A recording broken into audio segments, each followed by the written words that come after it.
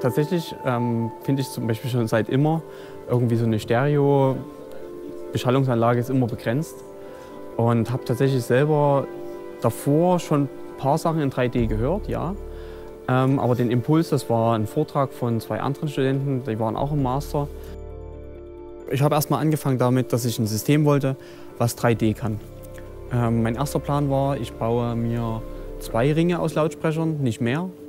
Und wollte erst am Anfang jeweils 16 Lautsprecher machen pro Ring, weil das war das, was an Material relativ einfach noch verfügbar war. Das sind alles ähm, aus dem Umkreis zusammen geliehene Sachen. Das ist auch nicht so, dass ich einen Supplier habe oder einen Boxenhersteller, der mit alle Boxen einmal herräumt, weil es für ihn ein großes Aushangsschild ist, sondern wir haben geguckt, welche Verleiher haben Material und wer kann was dazu beisteuern. Und der Gedanke kam dann einfach daher, das System dann sinnvoll zu lösen und auch vielleicht wirtschaftlich irgendwo, dass man sowas auch mal irgendwie wieder umsetzen könnte. Und es hat sich dann doch noch ergeben, dass ich mehr Lautsprecher bekommen habe. Und deswegen habe ich dann die Idee gehabt, da noch die Deckenebene dazu hinzuzufügen. Und im ersten Plan hatte ich auch alle unteren Lautsprecher nur auf Stativen stehen, was aber die Bewegungsfreiheit eines Gastes schon einschränkt irgendwo. Und deswegen haben wir dann zwei Ringe gebaut, also zwei Achtecke, Ringe aus Drass, wirklich runde Ringe, wäre noch ein bisschen komplizierter. Boxen sind erstmal das eine. Man braucht natürlich für jede Box eine einzelne Endstufe, weil der Prozessor immer jede Box einzeln ansteuert. Und da habe ich jetzt zweimal ähm, zwei 32-Kanal Inosonics ähm, Endstufen im Einsatz und dazu halt dann ähm, Seeburg-Lautsprecher. Da habe ich 20 Seeburg-Lautsprecher A6 und dann 20 ähm, Seeburg TSM 8 und dann noch ähm, 4 TSM 10 als Deckenlautsprecher. Und beim Bass haben wir, weil die Flugmöglichkeit von den Seeburg-Lautsprechern für uns nicht ausreichend genug war, haben wir uns entschieden, ähm, ein D&BY Bassarray einzubauen, was, was, was man schöner auch über den Kopf fliegen kann. Wir haben den, das Bassarray wirklich auch mittig im Raum platziert, damit man auch wirklich eine klare, wahrnehmbare Ortung mittig im Raum hat und nicht irgendwo am Rand oder dass der nicht von der Seite geflogen wäre, sondern dass wir wirklich den klaren Punkt haben.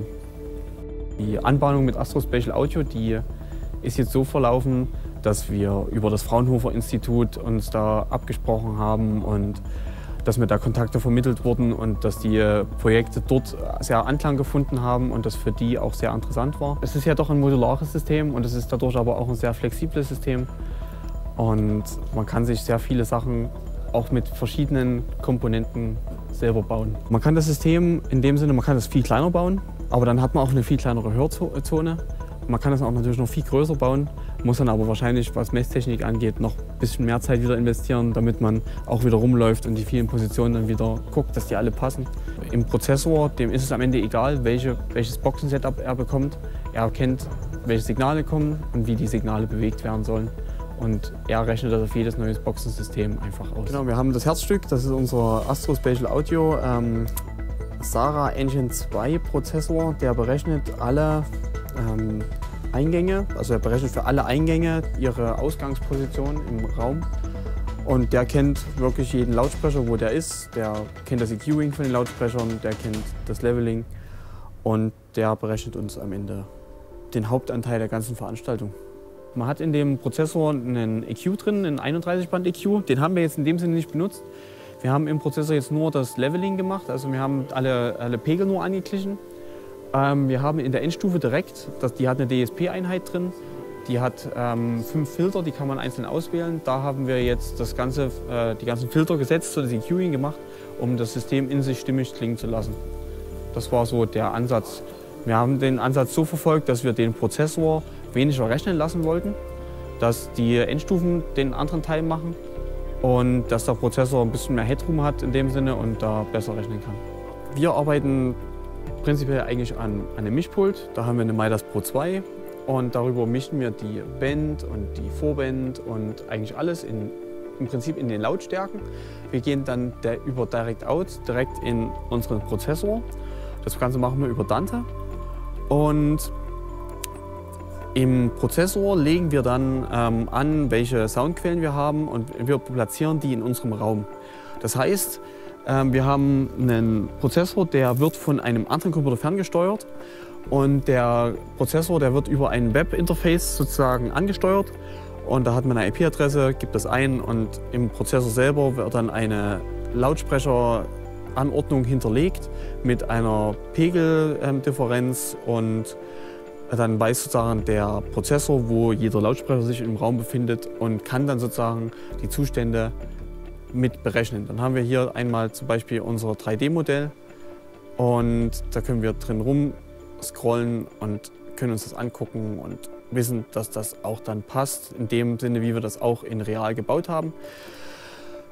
Ähm, gehen dann in das andere Tool. Wir haben sagen, das, den, den Assistant-Modus, wo wir das erstmal alles bauen. Und dann haben wir einen Production-Modus, wo wir dann wirklich die Schallquellen platzieren und auch bewegen können. Das können wir wirklich dann, hier haben wir ein Touch-Display, können wir mit dem Touch-Display wirklich die Soundquellen dann frei bewegen und können die auch in verschiedenen Hörebenen bewegen. Wir sehen hier ähm, in der unteren Ebene Lautsprecher liegen und in der oberen, die sind ja eingezeichnet. Man muss ja natürlich immer wissen, welche Bezeichnung was ist. Und dann haben wir in der Mitte noch ähm, unsere ähm, Deckenlautsprecher und den Subwoofer platziert und können dann sozusagen auch den Sound dann komplett oben drüber bewegen in einer Kuppel. Wir stehen jetzt nicht im, im, Zentrum, deswegen können wir die Lautstärke allgemein auch gar nicht so gut einschätzen. Deswegen passiert eigentlich die große Teil der Mischung, dass das äh, Lautstärkeverhältnis ausgewogen ist, dann doch über Kopfhörer oder man müsste sich dann was Kleines wieder aufbauen. Und die ganze Band spielt tatsächlich selber über In-Ear-Monitoring, weil tatsächlich es gibt schon irgendwie einen gewissen Versatz noch. Die Prozessoren sind noch nicht so schnell genug, dass wir doch irgendwie paar Millisekunden Latenz haben. Deswegen müssen die, wenn die wirklich on time miteinander spielen wollen, direkt In-Ear-Monitoring bekommen. Und der Zuschauer merkt wahrscheinlich diesen kleinen Versatz nicht so sehr. Und daher kommt das, dass wir allen auch In-Ear-Monitoring verpassen. Nicht nur deswegen, wahrscheinlich auch deswegen, weil wir, wenn wir noch Wedges auf die Bühne packen, dann sind es noch mehr ähm, diffuse Schallquellen, die da unseren Raum noch mehr kaputt machen. Und deswegen versuchen wir dann noch das nach dahingehend auch kompakter zu halten. Wenn es total perfekt wäre, bräuchte man kein Monitoring. Aber wenn, wenn, wenn ich mir selber vorstelle, als Musiker oder als Sänger, dass sich meine Stimme um mich selber herum bewegt, dann würde sich das schon komisch für mich anfühlen. Und ich wüsste manchmal vielleicht nicht, ob ich wirklich richtig dann wäre. Und deswegen wollte ich dann, glaube ich, lieber klar hören, dass ich auch an der richtigen Stelle bin. Die Software von Astro Spatial Audio ist eine browserbasierte Oberfläche. Ähm, da können wir wirklich, wenn wir jetzt ein Touch-Display haben, das direkt anpacken, können auch mehrere Sachen anpacken und können die ähm, live im Raum bewegen. Wir können Automation schreiben, können die Timecode gebunden am Computer mit dranhängen haben. Am Computer habe ich jetzt ein LTC mitlaufen, weil ich habe ein paar Sachen, die ich automatisiert habe. Und dann startet die Automation in dem Sinne, wo wir uns im Computerprojekt befinden. Die Signale, wenn wir jetzt Live-Signale haben, kommen die jetzt von der Bühne. Da haben wir auf der Bühne eine digitale Stagebox stehen. Die geht direkt erstmal ans Mischpult. Und das Mischpult hat ähm, einen Clark in Technik ähm, Network Bridge eingebaut. Da wird das Ganze vom ähm, MIDAS-Protokoll ähm, in ein Dante-Protokoll konvertiert. Und dann gibt der ähm, Konverter uns das Ganze in unser Dante-Netzwerk. Wir haben hier einen Gigabit-Switch, haben da jetzt unsere Endstufen dranhängen. Die sind ja direkt über Dante angesteckt. Dann haben wir noch in den im Decken noch, noch eine Stagebox eingebaut, die auch nochmal dann Analogsignale auf ein paar andere Endstufen ausgibt. Und haben hier genauso dann im Dante-Netzwerk den PC mit drin hängen. Der, über den machen wir auch noch eine Aufnahme. Und dann haben wir natürlich den Sarah Engine 2 von Astro Spatial Audio noch eingebaut. Und der berechnet dann die ganzen Signale, schickt sie dann zurück und schickt sie dann sozusagen an die Endstufen direkt auf die Kanäle hinaus.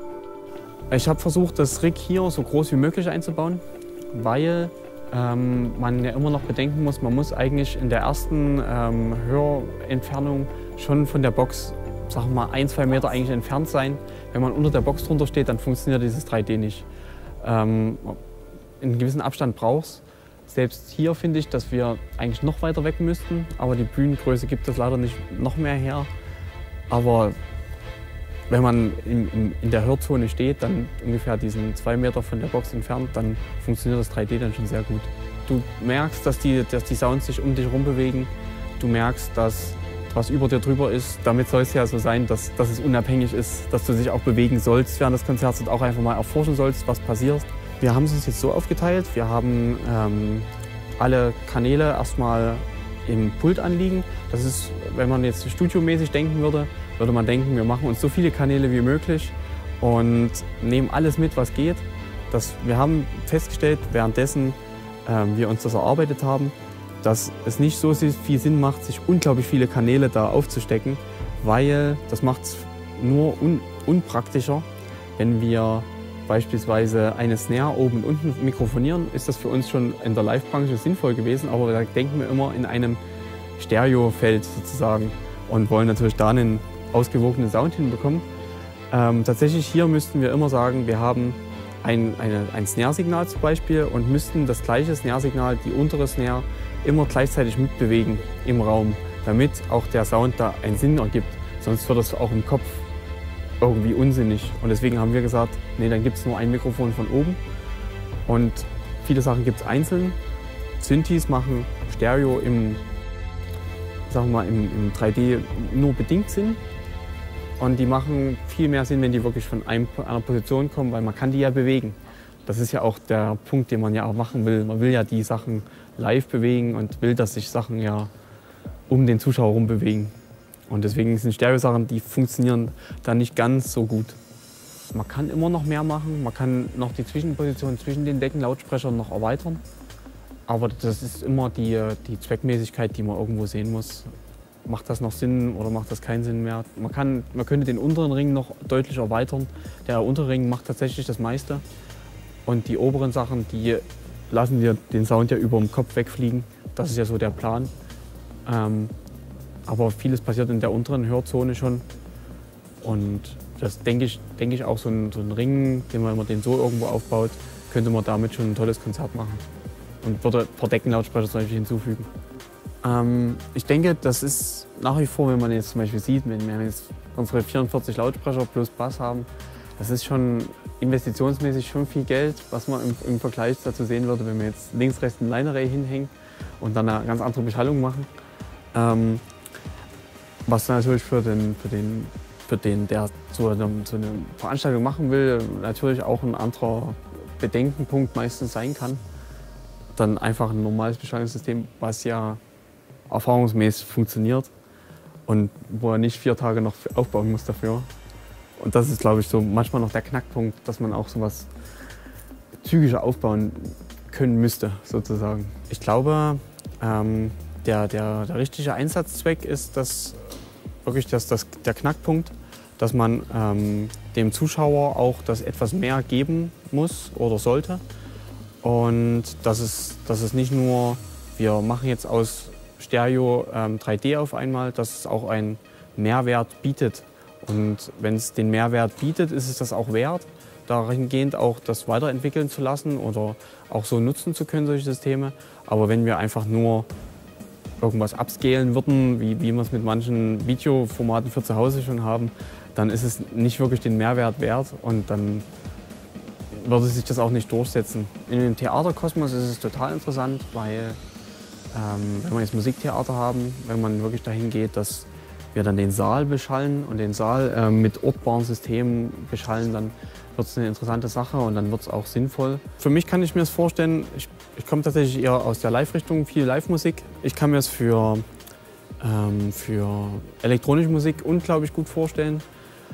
Wenn man das sehr gut einmisst, so ein System, dass das sehr spannend wird und da wirklich noch mehr, mehr Soundfeld bietet irgendwie.